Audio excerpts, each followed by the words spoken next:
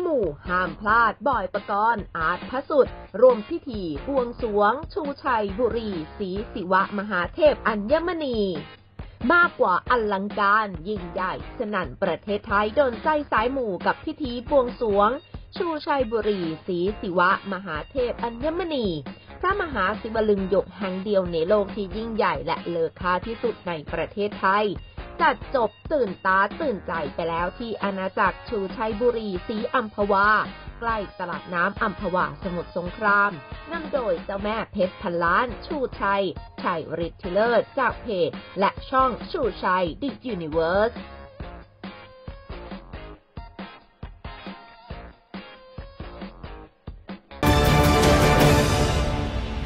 ก็รู้สึกราบรื่นดีแล้วก็รู้สึกมีพลังบวกนะแล้วก็ทุกอย่างราบรื่นดี มีคนประมูลแล้วก็ตั้งแต่เช้าตั้งแต่เช้าแล้วเกจิอาจารย์มาแบบ คือมันเป็นเรื่อง incredible อะอืมที่จะเชิญเอ่อเกจิอาจารย์ให้เวลาตรงเวลาเนี่ยยากมาก พี่ใช้เวลา 6 เดือนนะ กว่าจะได้คิวก็มาเป็นวันที่ 8 เดือน 12 เป็นวันเลขดีแล้วก็หลังจากนั้นก็มาเจออาจารย์เชียร์นะบวงสรวงน้องเห็นเนาะโอ้ยขนลุกเลยเหมือนองค์ลงอะท่านบวงสรวงแบบก็เรียกว่าจิตวิญญาณเลยเนาะครับแล้วก็มีแฟนโชว์นี่ก็เรียกว่า เราอินฟลูเอนเซอร์เนี่ยให้เกียรติพี่มาก ทุกคนมาด้วยใจด้วยแบบก็เรียกพร้อมใจกันเลย สามสี่สิบคนเลยนะใช่เกิด้วย30คนกิเครื่องเพด้วยชรทั้งหมดก็ประมาณกระปุกพันล้านที่ทำเที่ยวนี้ชุดหนึ่งประมาณ 200 ล้าน เห็นไหมผมบอกแล้วพอให้เที่ยวเดิเดีนยวเลยเที่ยวเดียวไม่มีอะไรพอแล้ว ฮะแล้วก็ข้อสำคัญคือได้น้องอาร์ตนะโอ้ขอบคุณครับ แล้วก็น้องบอยมาขอบคุณครับ ก็เคยร่วมงานกันและเป็นดาราที่ถูกใจมาก ตรงกับคอนเซ็ปต์เลยเป็นพระศิวะมหาเทพกับมหาพรหมเนาะ ส่วนพี่ก็เป็นเจ้าของโครงการนี่อะไรแบบนี้ครับก็ยินดีด้วยครับที่พี่ชูชัยเขาจะเป็นสายมูอยู่แล้วเป็นสายมูอยู่แล้วก็ก็ได้ยินเรื่องเอ่อที่พี่ชูชัยเขานับถือมาตั้งนานเรื่องนี้คือรู้จักพี่ชูชัยมานานมากแล้วก็จะเห็นพูดถึงอย่างนี้เรื่อยๆครับวันนี้ก็มีโอกาสมาได้ประมูลเป็นพระศิวลึงพิงโกอ่าใช่ อันนี้ได้แบบหกหลักเลยนะหกหลักนะฮะอันนี้ใช่หกหลักครับก็ดีใจด้วยครับแล้วก็แล้วก็ขอบคุณพี่ผู้ชายฮะที่ให้มาร่วมงานดีๆเลยนะครับ ยินดียินดี ว่าเป็นน้องรัก ขอตังค์สักเที่ยวหนึ่งนะเขาขยันสบายกินเป็นลูกกระตันยูเราเห็นวันนั้นเราดูในไลฟ์สด ยัง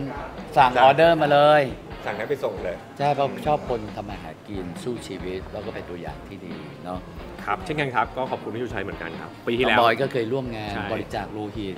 สายบูญชอบมาก ปีที่แล้วน้องน่ารักมากน้องชายผมมาด้วยผอ่ามก็เลยได้อันนี้ส่งส์มาในปีนี้ครับ ก็ดีใจครับปกติแล้วถ้าเรื่องเพชรเรื่องทองก็ต้องแบบต้องไว้ใจพี่พี่ชูชัยต้องมั่นใจได้อยู่แล้วอะไรเงี้ยแต่ว่าคราวนี้ก็แบบเหมือนกับมาในรูปแบบของพระศิวลึง ซึ่งแบบสามารถบูชาได้ แล้วก็เป็นตัวแทนของความสำเร็จความเจริญรุ่งเรืองความ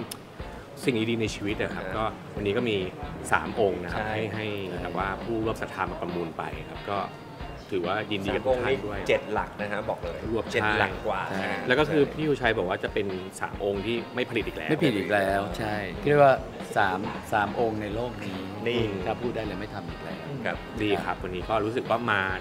ได้ทำงานด้วยได้สัมผัสด้วยนะได้สัมผัสด้วยแล้วก็ได้สิ่งดีๆในชีวิตด้วยครับก็โอ้ความจริงแล้วทุกคนก็มีเรื่องสิ่งต่างๆ ที่แบบเป็นความเชื่อของตัวเองอยู่แล้วอะไรอย่างเงี้ยครับผมเองก็มี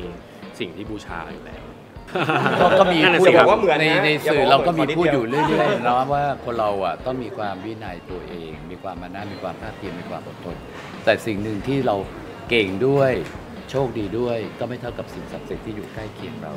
ยามเราท้อหรืออะไรเนี่ยถ้านี่กำลังใจเราแล้วเป็นอะไรที่ซื่อสัตย์กับตัวเรา ด้วยการกระทำคิดดีพูดดีทำดี แต่ถ้าเรามีเวไนยแล้วก็ไปเที่ยวถามคนนี้มีปัญหาชีวิตบางคนเนี่ย คือให้คำตอบที่ไม่ถูกต้อง แล้วก็เราเป็นนินทาได้ด้วย แต่ท่านคงไม่ให้เราเป็นนินทา แต่ท่านเป็นกำลังใจเรา ให้เรามีสติปัญญาอยู่กับรักษาใจ แล้วเรียนรู้ด้วยตัวเอง แล้วถ้าคุณมีบุญจริง มากระหน่ำเลยสายบุญที่เชื่อเรื่องพวกนี้นะครับก็จะฝากไว้นะครับทุกท่านที่อยากจะบูชาสิ่งที่เป็นกำลังใจแล้วก็มาเป็นลูกหลานท่าน มามีความโชคดีประสบความสำเร็จ แล้วก็ได้สิ่งมาแบบ incredible ในชีวิตคุณเนี่ยต้องบูชาองค์พระศิวลึงซึ่งพี่ทำอยู่แล้ว แล้วพี่เอาตัวพี่เองเนี่ยทดสอบมาตลอดชีวิตเลย ถึงกล้าทำนี้เพราะมันคือเครดิตชีวิตที่ล้วนๆเลย แต่ก็มีคนหลายคนเนี่ยอยากบูชาพระศิวลึงเนาะแต่ก็ไม่รู้จะไปบูชาที่ไหน เพราะส่วนใหญ่ที่ออกมาจะเป็นรูปลักษณ์เหมือนกับสิ่งที่ดูแล้วเป็นแบบก็เรียกว่าอะไรอะเหมือนเออปัดขิกเนาะที่อาจจะดูเหมือนเป็นเป็นอะไรที่ดูไม่ไม่สวยงามกลัว ไม่กล้าใส่พี่เลยออกแบบมาทุกคนบอกโอ้ ตายแล้วดูแล้วหน้าเนื้อใสจังเลย ดูแล้วไม่เหมือนที่เราคิดขึ้นมาอืมดังนั้นสิ่งนี้คิดว่าคนจะกล้าบูชาละเพราะไม่มีใครทำเลย แล้วก็บังเอิญเรามีรากฐานสตอรี่ที่เราทำจริงมาตั้งแต่เด็กแล้วก็ที่นี่เรามีเทวสถานโอปาซิรุนที่มูลค่าเกือบพันล้านอยู่ที่นี่ฝังเพชรจริงอะไรจริงหมดเลย ซึ่งสิ่งนี้คือมันเป็นความจริงกับชีวิตที่ คือทุกอย่างมันเป็นจริงอะแล้วก็อยากบอกต่อต่อไปครับ